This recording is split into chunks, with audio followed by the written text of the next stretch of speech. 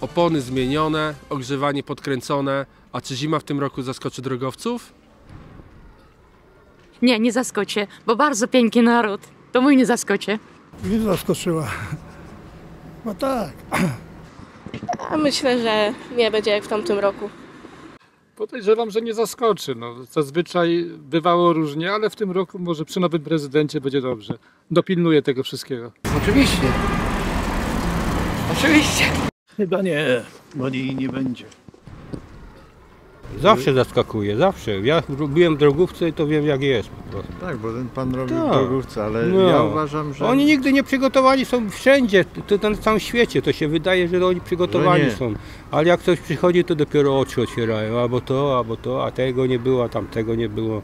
No to także to jest e, chore. Czy w Świdnicy To nie raczej tylko- nie tylko w Polsce, nie było jakichś takich nigdy problemów e, z drogami. Ja tyle lat jeżdżę i raczej zawsze było odśnieżone. Także tutaj w- samej Świdnicy, bo poza Świdnicą no to trudno powiedzieć, ale tutaj to raczej jest w porządku. Ale jest, ale jest jedna zasada, że Świdnicy na przykład ta droga należy do województwa, ta należy do powiatu, ta jest miejska, ta jest tego.